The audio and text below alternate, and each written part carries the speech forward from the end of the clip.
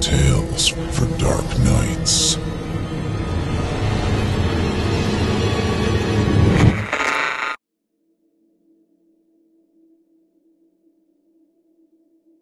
It was 2012 when Hurricane Sandy hit the northeast United States. New York City was fixated on a dangling crane in midtown Manhattan. Elsewhere on the coast, weird stories and photos circulated in the internet and social media. Most notably, a picture of a shark on the flooded front lawn of a New Jersey home. One of the more disturbing pictures I saw was that of a casket floating down an empty street. I've searched high and low for a copy of that photo, just to prove my story, really, but I haven't found it since. Caskets floating away during a flood aren't a new thing, believe it or not. In New Orleans, the problem of airtight coffins popping out of the ground because of heavy rainfall became so bad, well, most graves are now either lined with concrete or they just build them above ground. Before Sandy, this phenomenon was unheard of in the state of Connecticut. I never saw it personally, mind you. I just saw the picture I mentioned in a few stories from patrons at the bar I used to work at. Problem with that is, drunks aren't exactly known for their honest storytelling, of course. But this story, the story I'm telling you, this story took place the day after the hurricane. The bar I work at is located on the outskirts of Waterbury, Connecticut. My boss called me and asked me if I could go check out the place and make sure it hadn't been damaged or looted. I said I would on the condition that I could drink for free when I got there. He agreed, not having much choice in being flooded in and all and I was in my truck and on my way, figuring I'd spend my afternoon relaxing in an empty bar. There's something inherently creepy about a city the day after a storm. Major roadways are abandoned, streetlights are out. One major intersection I had to go through simply had a stop sign stuck in a Home Depot bucket in the middle of the road instead of the usual working stoplights. The power was out, so most of the houses I passed were pitch black. Pure silence hung over everything, with the exception of my truck's engine and the country station I was listening to. Only one word came to mind at that moment apocalyptic. I pulled into the strip mall where the bar was located. I locked up and moved towards the glass front door. The neon sign outside had been broken in the storm. McKinley's Gin Mill was written in hunter green Gothic type on yellowing plastic. The break in the sign was in the top left corner where an Irish caricature grinned over a mug of beer. With the top left part of his head missing, a single remaining eye made his smile seem more sinister than sarcastic. I opened up and I flipped the switch. The lights stayed off. Power's out, signs broken, but I couldn't see any other damage. I grabbed a green Jameson bottle along with my portable iPod player, kept under the bar, and made my way into the adjoining room. The way McKinley's was set up was as soon as you walk through the front door, you're in the bar room. The room had wood paneling and was decorated with photos, posters, signs scattered on the walls. Across from the bar was a five foot gap in the wall that led to an area with a big screen TV, pool table, and a jukebox. I put the bottle on one of the tables and set up my iPod. I enjoy solitude for the most part, and the idea of drinking a bottle of Irish and listening to music while casually improving my pool game was welcome compared to how I usually spend my nights. Noisy 20 somethings taking Instagram pics and comparing how drunk they are. Well, I just put my chill out playlist on and set up the table. I was maybe halfway through my second game when I heard the bell over the front door tingle. I put down the pool cue to the sound of a scraping stool.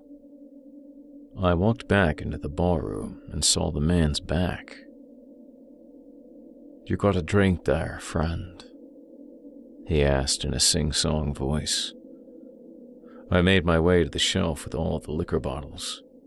The man was dressed odd compared to our usual clientele. He was wearing a dark black suit, like the guy had just gotten out of church or something. What's your poison?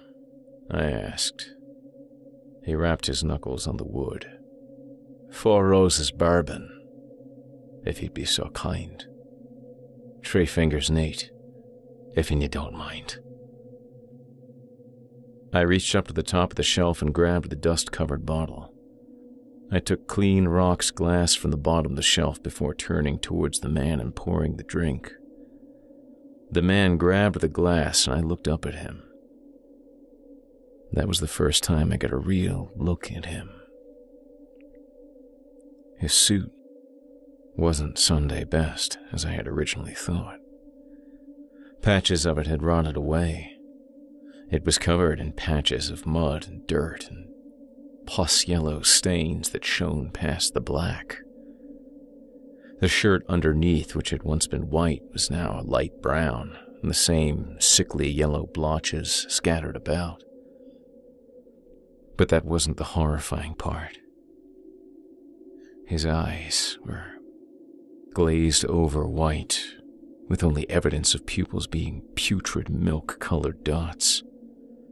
His skin was pulled tight against his skull like pale cling film. The right side of his face didn't even have that much. The bottom of his right eyeball was visible past a half rotten eyelid. Cheekbone, jaw, teeth were all visible in a deep yellow color. He sipped the whiskey, and brown liquor ran through the gaps in his teeth. It burns. Very fine, friend. Very fine. Damn good stuff. He said with a half grin. I pulled back and the man gave a deep laugh. oh, I know, I know. I must look a mess. Caught me reflection in the store window. Don't you worry, don't mean you any kind of harm. Not to you, at least. I reached under the bar, my hand wrapped around a sawn off baseball bat we kept in case of a robbery. If you're aiming to use that bat, you'd better make sure your first hit is true, friend. I don't want to hurt you, but I will. How did he know what I was thinking? Did he check under the bar when he walked in? Did he see the reflection in the mirror? But he answered for me. So when you're dead, gone on 60 years, you start to see things no one else does, he said, pointing at his half exposed eye. The eye sees all, I'm afraid. I see your heart racing. I see your knuckles whitening on that bat.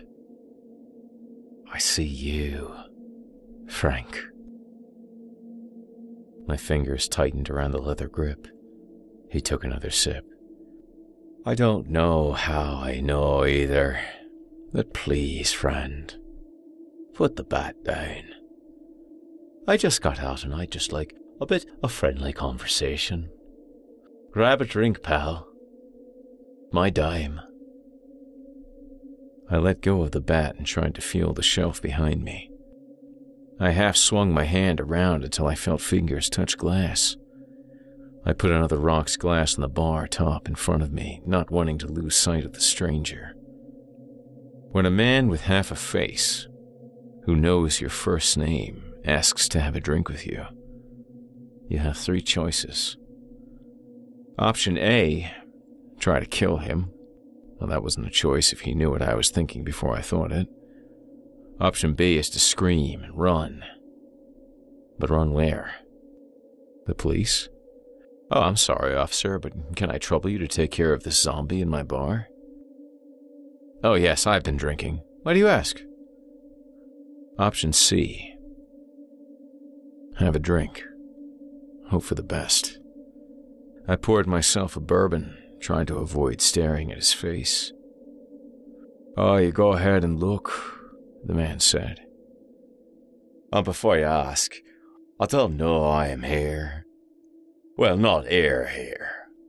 I'm here, here to have a drink and some conversation. Here, though, well, ah, there's a mystery. I woke up staring at silk. Clawed at it, I did. Screamed. Screamed, I did, and I don't know for how long. Could have been a day, could have been 60 years. Didn't exactly have a calendar down there. All I know is the box I was in started to move. The wood was old enough that after a few hits I cracked it, ripped apart the top of me coffin and made me way up here. You can imagine it's been quite an interesting day for me, friend. he chuckled. I drank deep and poured myself another. By the by, is East Windsor Road still three blocks down? He asked. We. Uh, he, uh, no. It, three blocks down is, um.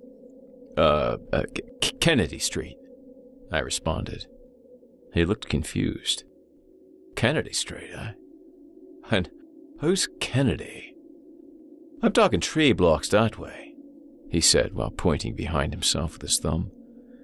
Um, yeah, that's Kennedy Street. Uh, and that's Kennedy, I said while nodding towards a black and white photo of JFK we had hung on the wall by the mirror. Kennedy, eh? Hmm. And uh, what did he do to earn a place in that fine wall? I responded to the 60 year old dead man the same way I would a drunk patron. He was the first Irish Catholic president. The man laughed. Irish Catholic president.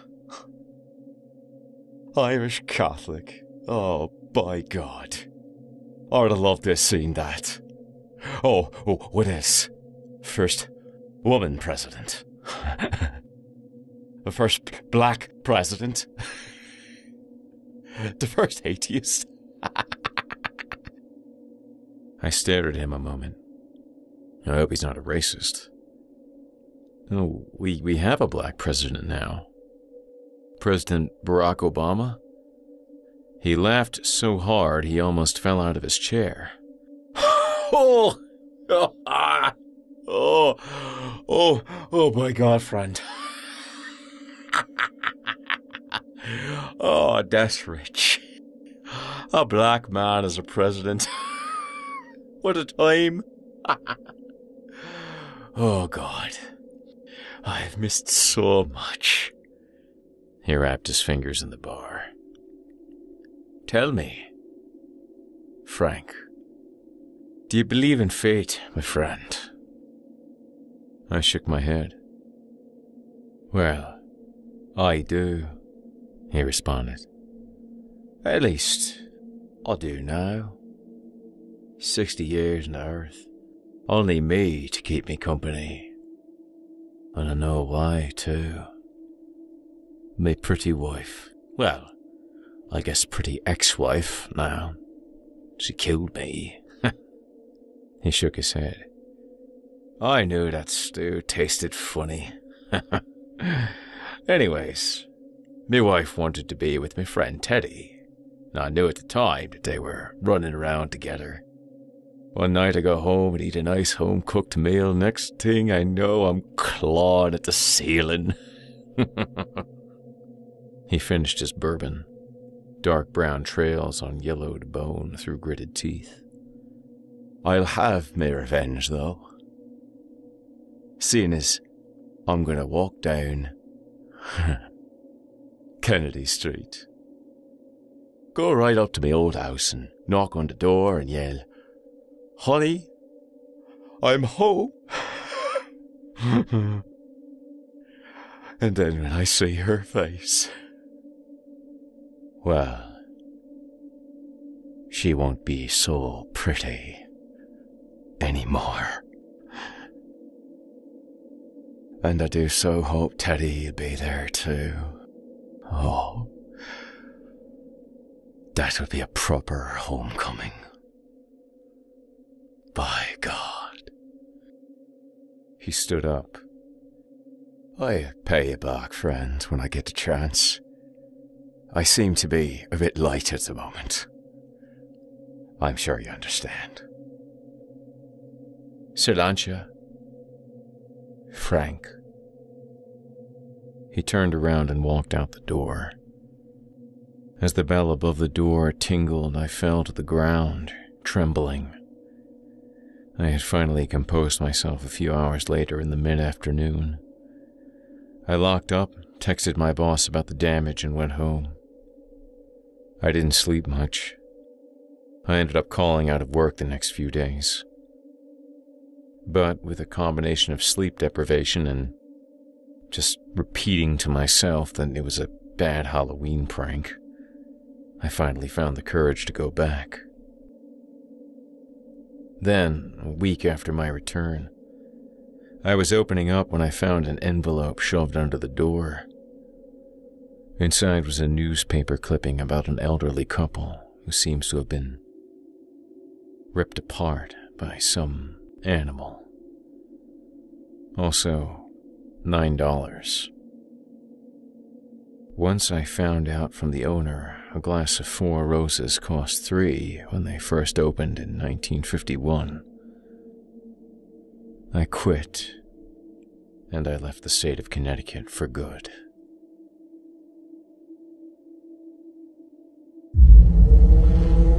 chilling tales for dark nights.